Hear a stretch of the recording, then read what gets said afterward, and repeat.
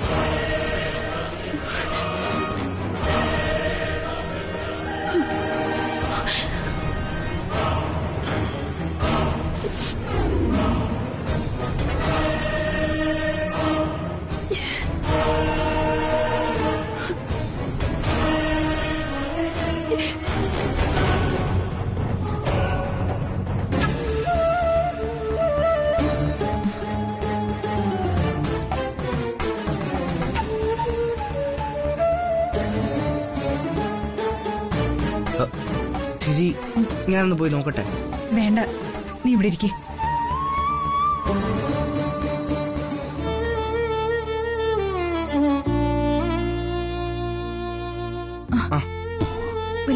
എന്തായി? ഒന്നുമില്ല. തൽക്കാലം പ്രമാണം കൈമാറുന്നില്ല എന്ന് തീരുമാനിച്ചു എന്റെ ദേവി ഇപ്പോഴൊന്ന് സമാധാനായേ.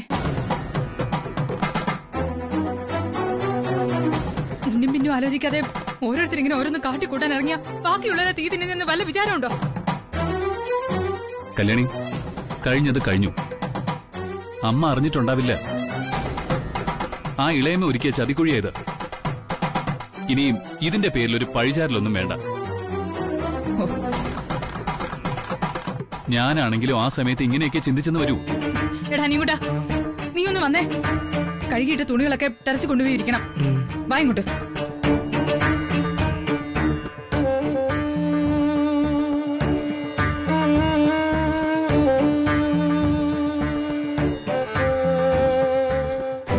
ദാസേട്ടാ ഇനി ഇതിനെക്കുറിച്ച് ആലോചിച്ച് വിഷമിക്കണ്ട. ഇവിടെ നിന്ന് ആര് വിചാരിച്ചാലും ദാസേട്ടനെ ഇറക്കി വിടാനും പറ്റില്ല.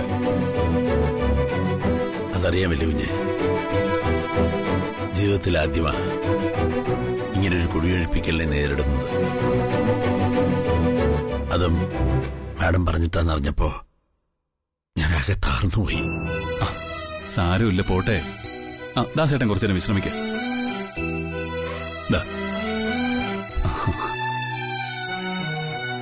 അവലുഞ്ഞെ? എന്താ ദാസേട്ടാ? ഞാനൊരു കാര്യം പറഞ്ഞ എന്നോടൊന്നും തോന്നരുത്. പറഞ്ഞു തന്നെ ആവർത്തിക്കാനാണെങ്കിൽ വേണ്ട. അതല്ല വലിയ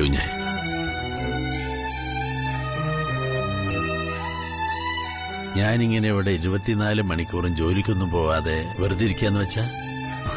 അതാണോ കാര്യം? ദിവസവും പണിയെടുത്ത് ശീലിച്ച ഒരാൾക്ക് ഇങ്ങനെയൊന്നും ഇരിക്കാനും പറ്റില്ല. മാത്രമല്ല പിന്നീട് ഞാൻ നിങ്ങൾക്കൊരു ഭാരമായി മാറിയാലോ? ദാസേട്ടാ ഏതായാലും ഞങ്ങൾ മൂന്നാൾ ജീവിക്കുന്നില്ലേ? അതിന്റെ കൂട്ടത്തിൽ ദാസേട്ടന്റെ കാര്യങ്ങൾ നടന്നോളൂ. ഭാര്യാപിതാവിന്റെ ചെലവ് കൂടി നോക്കുന്നത് ലോകത്തെ ആദ്യത്തെ കാര്യമൊന്നുമല്ല. കുഞ്ഞേ അതല്ല. ഏതല്ലാന്ന്?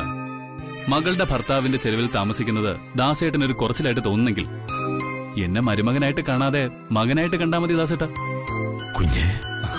വേണ്ട ദാസേട്ട എതിരൊന്നും പറയാൻ നിൽക്കണ്ട അതല്ല കുഞ്ഞെ. ഇതിനകത്ത് ഞാനെന്തോ ഒറ്റപ്പെട്ടതുപോലെ. എന്റെ മകളാണെങ്കിൽ എന്നോട് മിണ്ടിയിട്ട് ദിവസങ്ങളായി. ദാസേട്ടൻ പറഞ്ഞ പരാതി തന്നെ അതിന്റെ ഉത്തരവുണ്ട്. ദാസേട്ടന്റെ മകളാ കല്യാണി. ആ കല്യാണിക്ക് അധിക നാൾ പിണങ്ങിയിരിക്കാൻ പറ്റുമെന്ന് ദാസേണ് തോന്നുന്നുണ്ടോ? ഏതായാലും നിങ്ങൾ അച്ഛനായി മകളായി. മരുമകന്റെ സ്ഥാനത്ത് നിന്ന് എനിക്ക് പറയാനുള്ളത് ദാസേട്ടൻ തൽക്കാലം ജോലിക്ക് ശ്രമിക്കണ്ട എന്നാണ്. കുഞ്ഞേ. ഒരു കുഞ്ഞുമില്ല തൃച്ചംബരത്ത് ആനന്ദകൃഷ്ണന്റെ അമ്മായിയച്ഛൻ തൽക്കാലം മറ്റൊരു ജോലിക്കും പോകുന്നില്ല. അത്ര തന്നെ.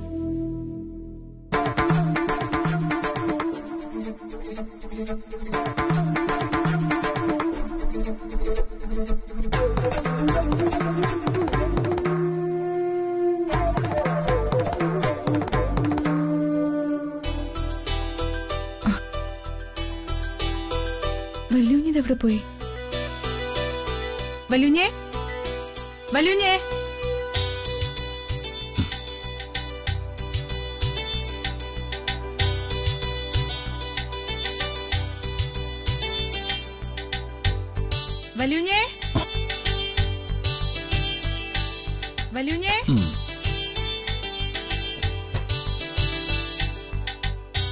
വല്യൂഞ്ഞേ.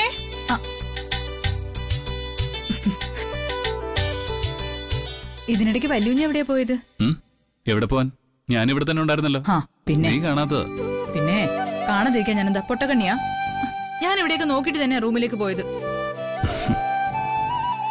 നീ എന്താ ആലോചിക്കുന്നത് ഏയ് രാവിലെ വല്യുഞ്ഞ എന്ത് സന്തോഷത്തിലാ പോയത്? എനിക്ക് ഗിഫ്റ്റ് തരാന്നൊക്കെ പറഞ്ഞിറങ്ങിയിട്ട് അതിന് സന്തോഷത്തിന് ഇപ്പൊ എന്താ പറ്റിയത്? കല്യാണി ഇതാണ് ജീവിതം. പിന്നെ രാവിലെ ഗിഫ്റ്റ് വാങ്ങിത്തരാന്നൊക്കെ പറഞ്ഞിട്ടാ ഞാൻ പോയത്. ഇനി അത് കിട്ടാത്ത സങ്കടമാണെങ്കിൽ അത് വേണ്ട. വാങ്ങിച്ചോ. നീ മനസ്സിൽ കണ്ട സമ്മാനം.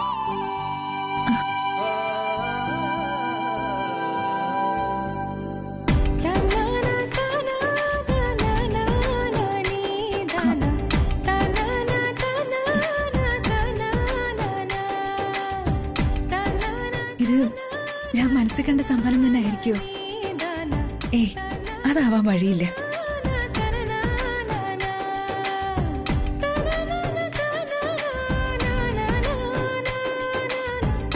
കല്യാണി നീ ഇപ്പൊ എന്താ മനസ്സിൽ പറഞ്ഞെന്ന് ഞാൻ പറയട്ടെ? ഇത് ഞാൻ എഴുതിയ സമ്മാനം തന്നെ ആയിരിക്കോ എന്നല്ലേ നീ ചിന്തിച്ചത്? ഇങ്ങനെ എന്റെ മനസ്സ് വായിക്കാൻ പറ്റുന്ന ആക്ക് ഞാൻ എഴുതിയ സമ്മാനം അറിയാൻ പറ്റുമായിരിക്കോ? ഇത് അത് തന്നെയാണോ ആ ഇനി ഒരു സമ്മാനം കൂടിയുണ്ട്. എന്താ?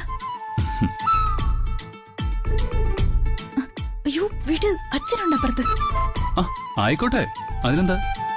ഇപ്പൊ നീ എന്റെ കാമുകിയൊന്നും അല്ലല്ലോ. ഞാനേ താലി കെട്ടി എന്റെ പെണ്ണ. അയ്യടാ. അതെ ഞാനിത് കൊണ്ടുവച്ചിട്ട് വല്യുഞ്ഞിന് ചായ എടുക്കാം? അപ്പോഴേക്കും എന്റെ വല്യുഞ്ഞ് പോയി ഈ ഡ്രസ്സൊക്കെ മാറി ഒന്ന് ഫ്രഷ് ആയിട്ട് വാ.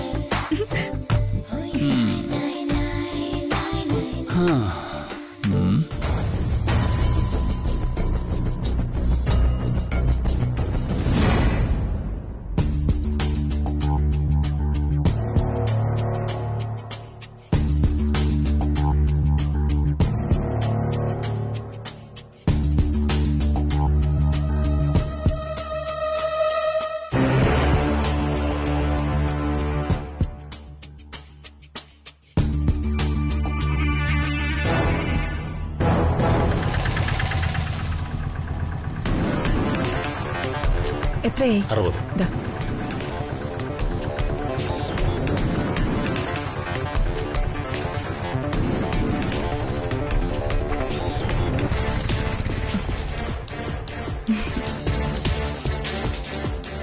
ആഹാ വാ ആന്റി. എന്ത് ബാഗൊക്കെ ആയിട്ട്. നിന്റെ ചേച്ചി എവിടെ?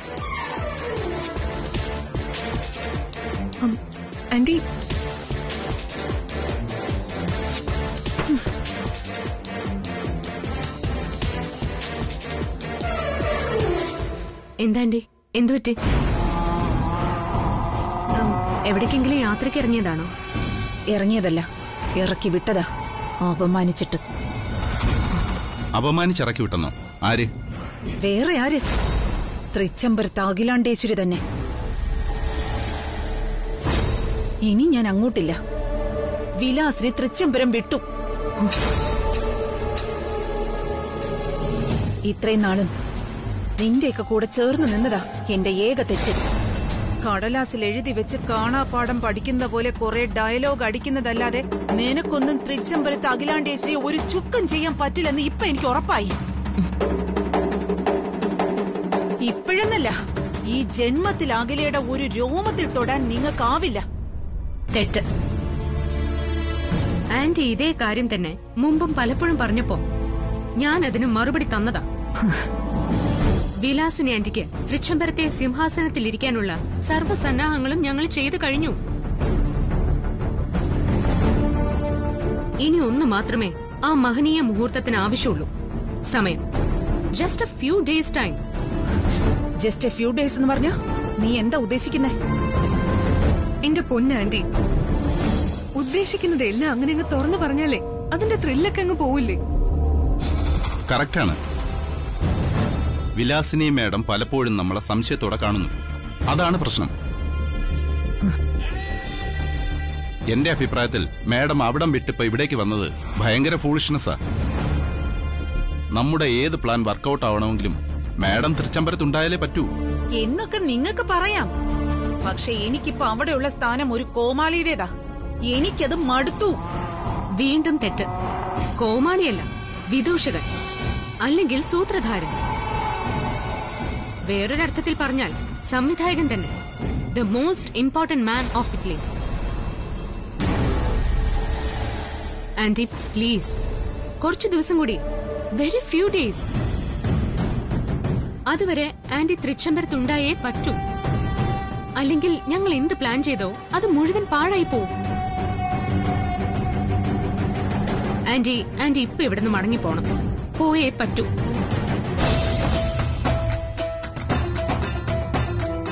ഗംഗെ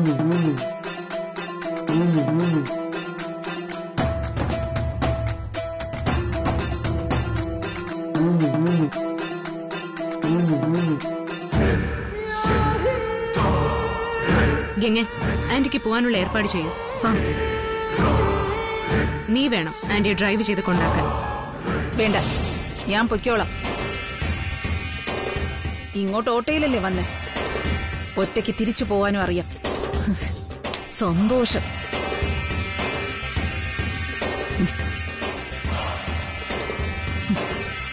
ശരി.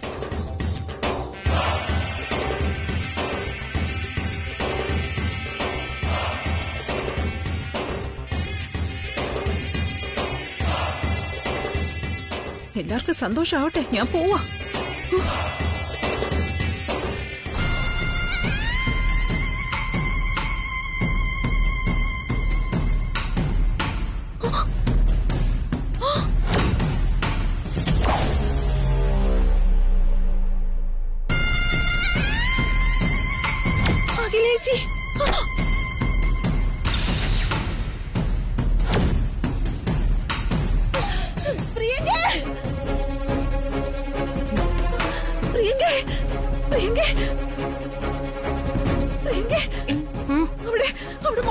എന്തുണ്ടായി?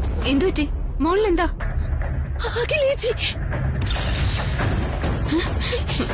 ടെറസിൽ അഖിലേച്ചി നിൽക്കുന്നു. അഖിലേച്ചിയോ ആ അഖിലാണ്ടേശ്വരി വാ ഞാൻ കാണിച്ചു തരാം. വാ.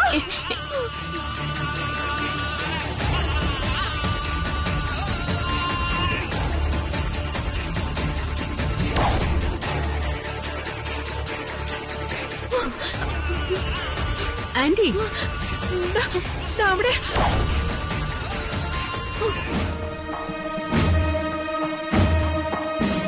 എവിടെ? അവിടെ എങ്ങും ആരുമില്ല എല്ലാം ആന്റിയുടെ വെറും തോന്നലാ. അല്ല തോന്നലൊന്നും അല്ല. ഞാൻ കണ്ടതല്ലേ? ചേച്ചി ഇവിടെ ഉണ്ടായിരുന്നു. അവിടെ.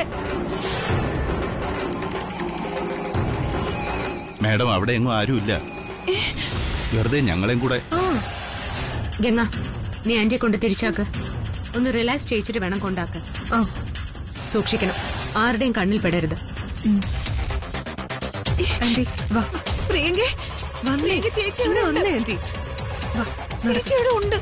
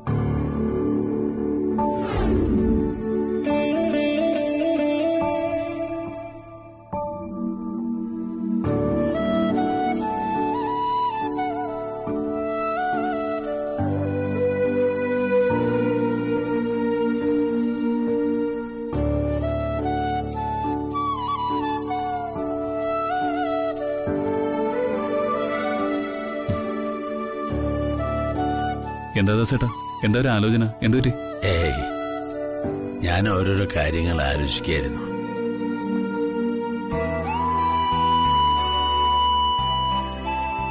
ഈ ഔട്ട് ഹൗസ് വിടണം. അധികം വൈകാതെ മറ്റൊരു വീട് വാടകയ്ക്കെടുത്ത് അങ്ങോട്ട് താമസം മാറണമെന്ന് എന്റെ അഭിപ്രായം. ദാസേട്ടാ അങ്ങനെയൊന്നും ഇപ്പൊ ചിന്തിക്കണ്ട. അത് അമ്മ അറിയാതെ നടന്ന കാര്യങ്ങളാ. അതിനെക്കുറിച്ചൊന്നും ഓർത്ത് ദാസേട്ടൻ വെറുതെ ടെൻഷൻ അടിക്കണ്ട. അതല്ല വലിയ കുഞ്ഞെ. എനിക്കതൊരു ടെൻഷൻ തന്നെയാ. മാറണമെങ്കിൽ മാറാം. സത്യത്തിൽ അച്ഛന്റെ നിർബന്ധം കൊണ്ട് മാത്രമാ ഞാൻ ഇവിടെ തന്നെ തങ്ങുന്നത്. പിന്നെ അമ്മ. അമ്മ ഇങ്ങനെയൊക്കെ പറയുന്നേ ഉള്ളൂ ദാസേട്ടാ. ആ മനസ്സിലൊന്നുമില്ല. അതെനിക്കറിയില്ല വിലുഞ്ഞെ ആ മനസ്സറിയാവുന്ന ഒരാളായി ഈ ദാസ്.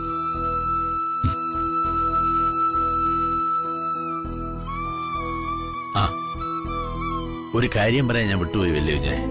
എന്താ ദാസേട്ടാ ഇന്ന് ക്ഷേത്രത്തിൽ വെച്ച് ഗുരുജിയെ കണ്ടിരുന്നു. ഗുരുജി ഒരു കാര്യം എന്നെ ചുമതലപ്പെടുത്തിയിട്ടുണ്ട്. കുഞ്ഞിനോട് പറയാൻ വേണ്ടി.